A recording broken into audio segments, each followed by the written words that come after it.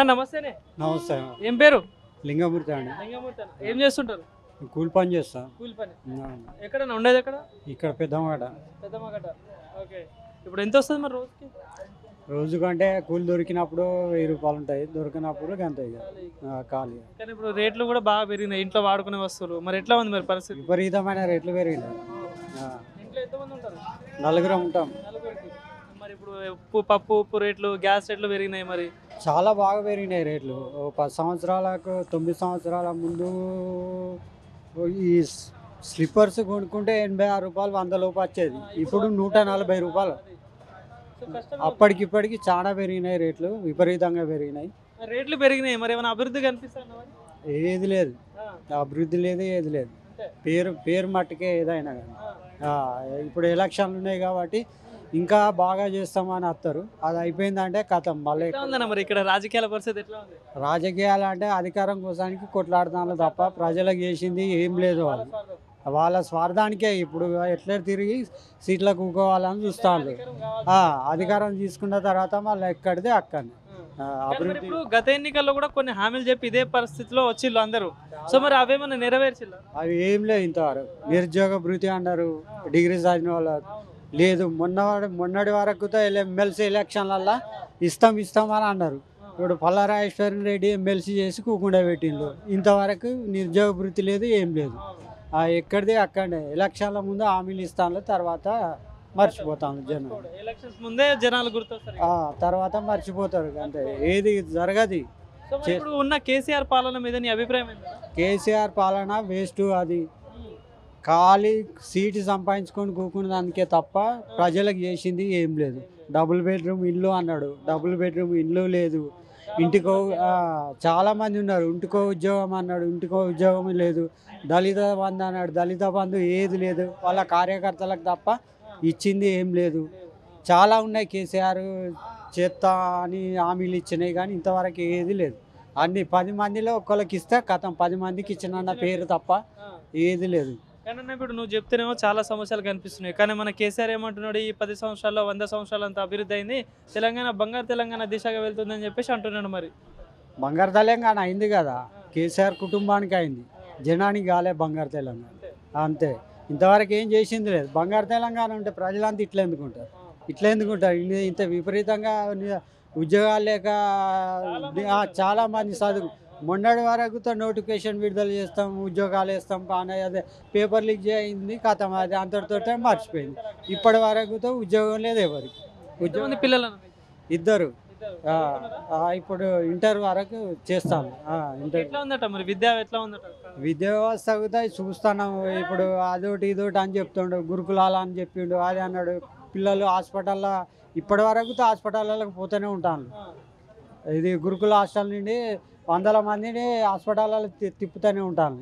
ఇంతవరకు వాళ్ళకు సరి అయిన సౌకర్యాలు లేవు. ఏది లేదు. ఈ ఇట్లా ఉన్నది కేసీఆర్ పాలన. మరి ఇవన్నీ చూసుకుంటే మరి ఇప్పుడు దగ్గరలో ఎన్నికలు కూడా వస్తున్నాయి. సో మరి ఈసారి ఎట్లా బుద్ధి చెప్దాం అనుకుంటాను మార్పు జరుగుతూనే ఏదైనా తెలుస్తుంది. ఈ వీళ్ళని మళ్ళీ అధికారంలో కూకుండా పెడితే మాత్రం గదే. మళ్ళీ ఎక్కడ వేసినా గొంగళిలాగా అక్కడనే. మరి ఈసారి మూడోసారి విజయం కూడా కేసీఆర్దే అని చెప్పేసి కూడా అంటున్నారు. అది తప్పు. కేసీఆర్కు ఓటు ఎవరు చాలా మందిని ఇంతకుముందుకు ఇంతకుముందు ఆర్టీసీ వాళ్ళను గోసపుచ్చుకున్నాడు. వాళ్ళ లీడర్ను లేకుండా చేసిండు. వాళ్ళ బిడ్డను లీడర్ని చేసిండు.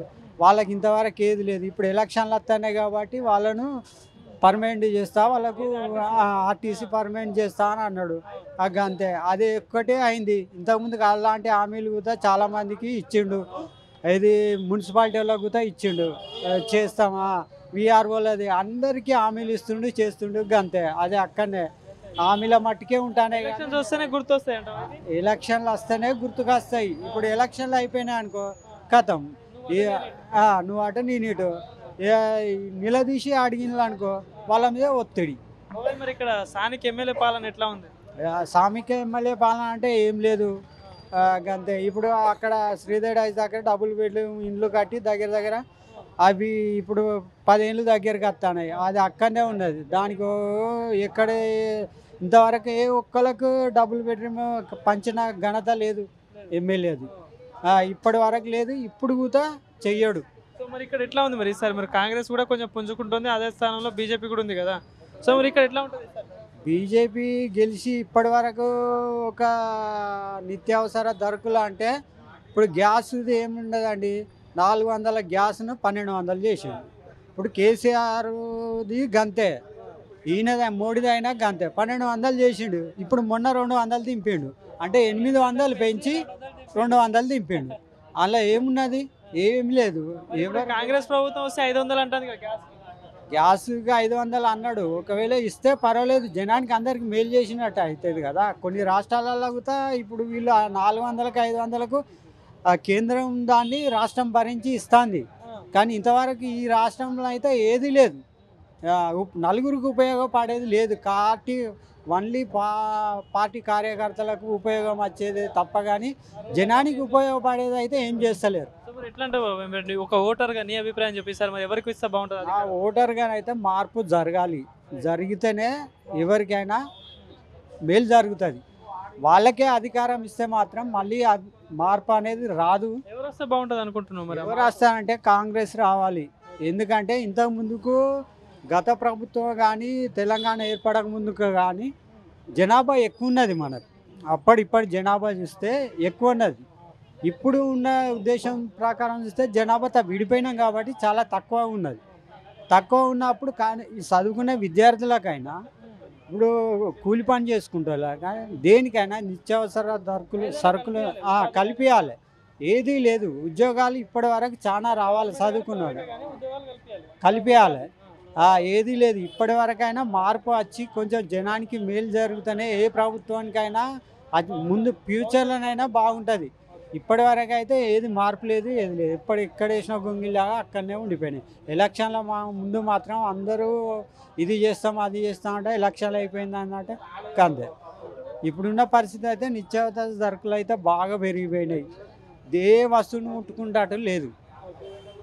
మోడీ ప్రభుత్వం వచ్చినప్పుడు తక్కువ ఉన్న రేట్లను అన్నీ బాగా విపరీతంగా పెంచి పడేసిండు. ప్రజలకు ఏం మేలు చేసిండు ఏది జరగలేదు. కాబట్టి మార్పు రావాలి మార్పు జరిగితేనే అభివృద్ధి ఏదైనా కొంచెం జనానికి ఉపయోగపడుతుంది. Okay Babu. Thank you thank you